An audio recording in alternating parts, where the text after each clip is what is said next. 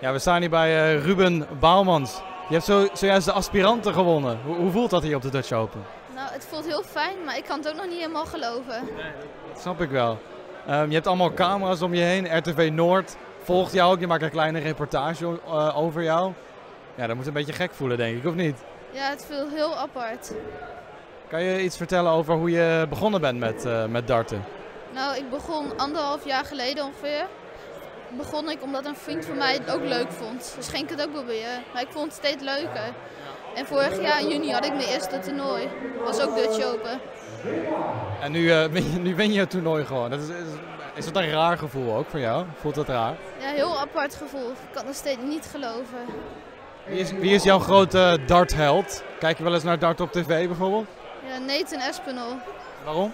Omdat hij nooit opgeeft.